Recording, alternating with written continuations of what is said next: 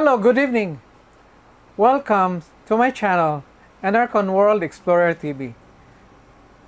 Now, maybe you will get surprised that we will be mixing up this one with another food on the table. As you can see, as you who are my avid fan follower here in this channel, we have our music and also the latest development that we have been following with the new administrations under Isko Moreno, Yorme, as we commonly see nowadays. And we keep blogging and we keep following on that one, then we are mixing it up. Then, due to the request of uh, many of our followers, we are mixing up this one with tutorial educations. Now, for the benefits of everybody, those at home or those who have sons or daughters who will be learning about mathematics, this will be your opportunity to learn uh, a hands-on, a direct approach in learning mathematics. There are so many uh, disciplines that deals about mathematics. We have algebra, we have uh, trigonometry, we have geometry, we have solid mensuration, differential calculus, integral calculus, linear equation, goes to the advanced engineering mathematics. You know, some part may say that I hate mathematics. Some also will say, I love mathematics. Now, there's no brainer for that one that it takes or required to get a genius when you are taking any majoring uh, courses that deals with mathematics. But as we can suggest, as we recommended, that you have to learn the basic fundamentals about mathematics. You cannot escape that one. When you first, when you are born, until this time when you are departed on this world, mathematics plays an important role in our lives. You can see, hate it or love it. This is what we can do in this one. So come with me on that one. We'll be dealing this one to the most enjoyable and fun learning about mathematics. First, we will go on and discover about, we will evaluate about what is algebra. We'll see intermediate and college algebra. Before we go on on that one, let's see about the primary concept. The prerequisites about learning algebra. Now, you see here on this blackboard, in this whiteboard, we see about the primary concept. Now we have the real numbers, integers and rational number exponents.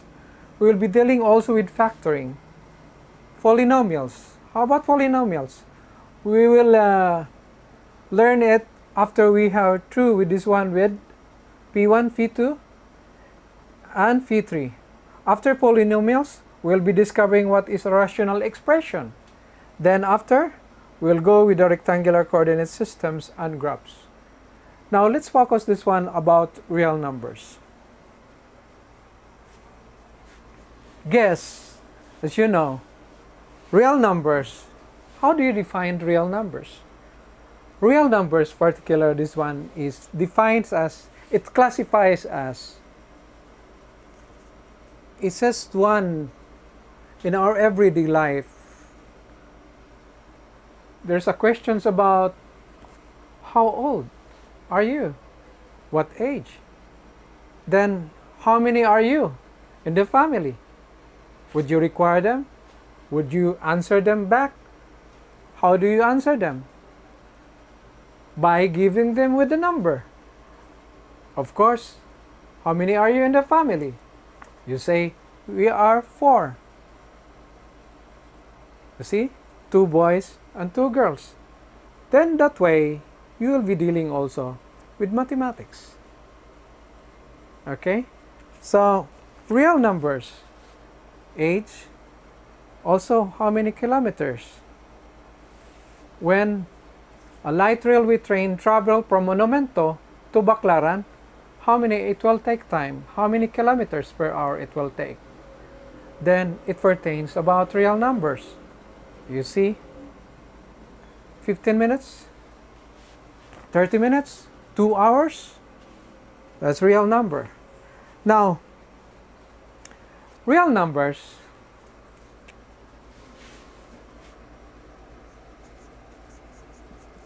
real numbers.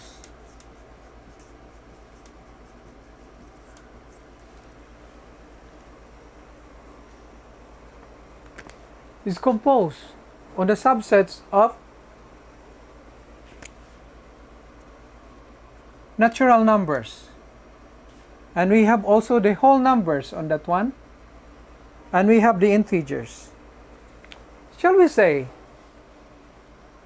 if we were going to denote a and letter b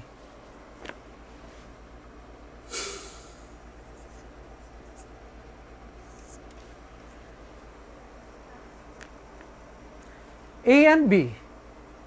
Now, in a linear graph coordinate systems, we can see this one that A and B, if it is a real number,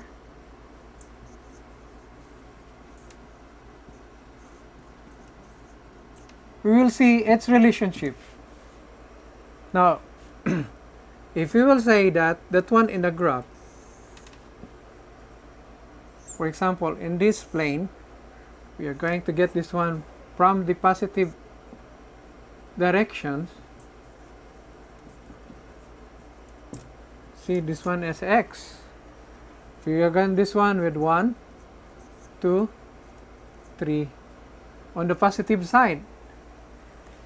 Now if we say that one that if it is a going to be and we don't know on this one the value of that one if it is between 0 and 1 or the b is between 2 and 3 if we'll say that if a if a is lesser than b. If we will say if a is lesser than b. That we will say 1, 2, 3, 4 up to continuous time, then we'll see in this relationship that B also is, uh, shall we say, for example, I'm just making it. If A is lesser than B, definitely B is greater than A. You see what I mean? This real number? Now, how do we define this one if it is a whole number? If it is a rational number? Can we understand this truly by plotting this one? Let's see let's let's move in clear on this one. Let's go deeper by making it down on the subsets and making it in a in a table manner and we will break it down down by down how it composed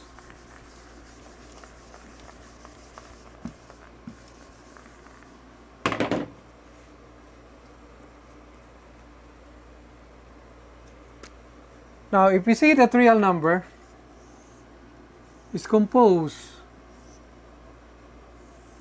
of irrational, are you with me?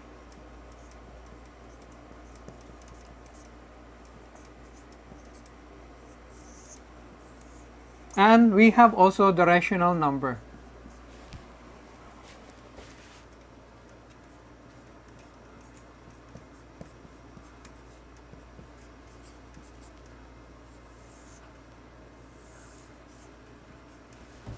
The rational number will be bring it down to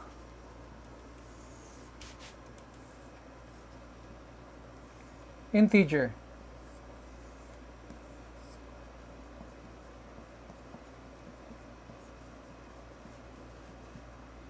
Number. And we have also on the right side we go subset this one here with non-integer.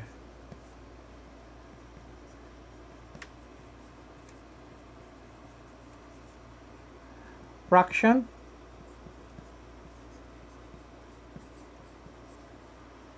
Shall we say negative or positive? Or positive numbers. We have also the integer number here. We'll bring it down, sub this one to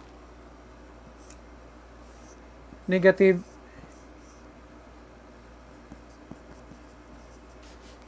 Are you with me? Negative integer. And we have on the right side this is whole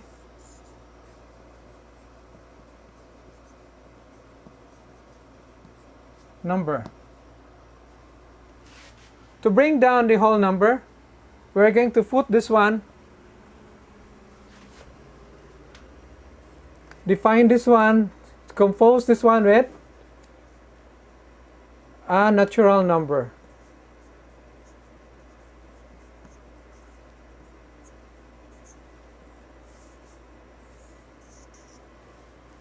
Then we have is 0.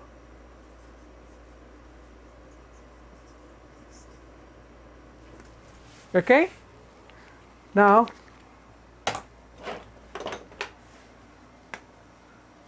these are the compositions, the sets of real numbers. Now, how, how do we convert this one in symbols? So that you would understand really what is the real number. How do we put this one 5?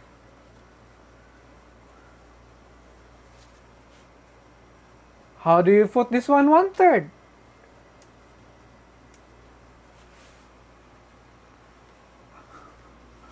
How do you put this one? 7 over 3. 1 fourth. Where is negative 2? And where is negative 3? Okay? Have we get it? Have we understood it? Now, rational numbers, we have to get integer number. Now, as you can see, in a linear, a linear coordinate, in a linear graph, integer number, we will see that this is combinations from Are we finished here? Are we finished here? Will I arrange? Come on, come on, come on. Are you with me? I will erase this one so that in order to give back our explanation so that it would be clear for your understanding. Not only this one like that that you will just imagine, but to see for yourself how that expressions will vary when you get it to symbols. Now we'll erase this one here. We'll erase this one. Now, rational numbers defines that it has an integer number. It has a combinations of negative and the whole number. Now when we define this one in a graph, say for example here,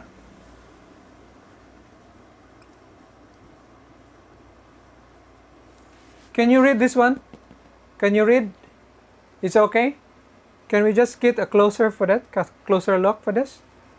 Now, if we will illustrate this one in a line, number line, and I will uh, point this one with a zero, which is the origin, uh, I will graph it or here on the x-axis, this is a positive side. And we will go on on the on the left side.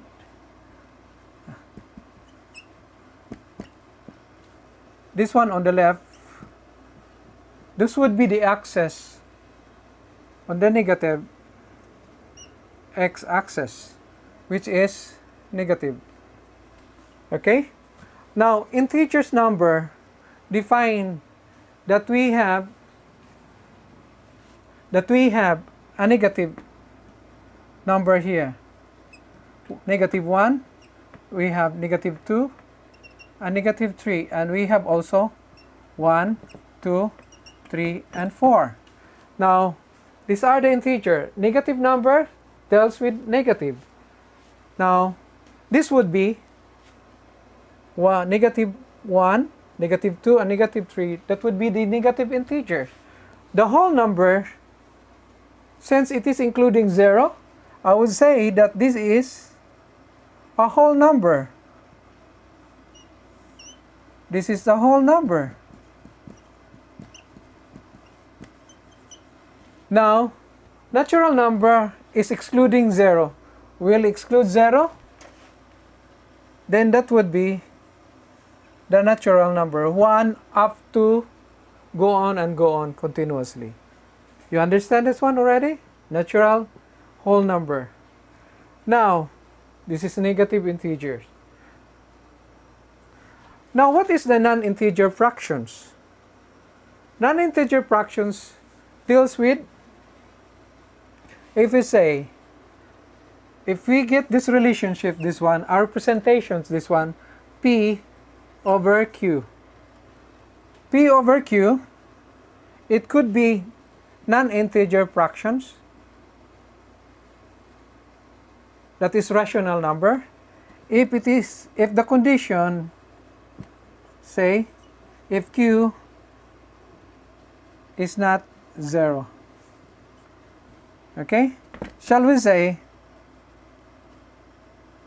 shall we say 1 over 3? 1 over 3, it could be point,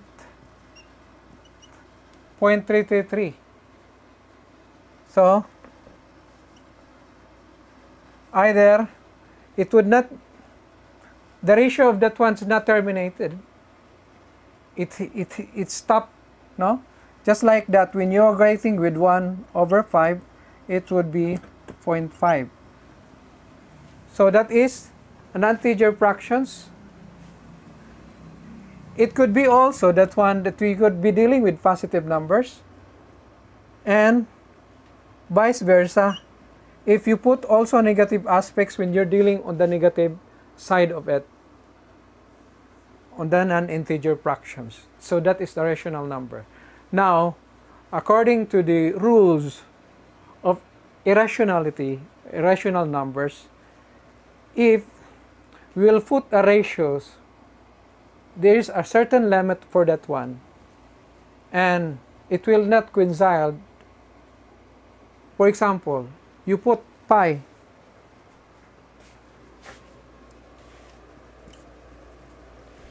pi is not a rational number going to the non-integer fractions. It's considered that it belongs to a rational number. The number of this one is 3.1415. 16 just like that. If you if you put to stop on that, it would be 3.14, the value of pi. Now,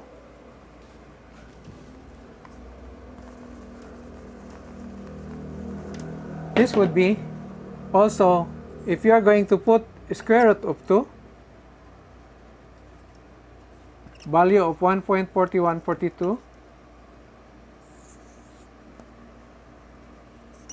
take for example, it is an irrational number. Pi is equal to 1.4142. Okay? Now, have we understood in that one? Have we understood, by the way? Now, I will say that this is why we plot we plot the points of the real numbers we have already we have already uh, done about plotting of the real numbers. As you can see on this one here. Now respectively we will create because we have already classified it and let's go about one of the properties shall be the way. Now guys I will ask you to uh, go with me uh, on the next uh, sessions uh, to follow on my next video to continue on this real number uh, explanation and elaboration. Thank you very much. Hope you guys uh, you like it. And if you need some more classification explanation, just give me some comments and uh, subscribe below. Thank you very much.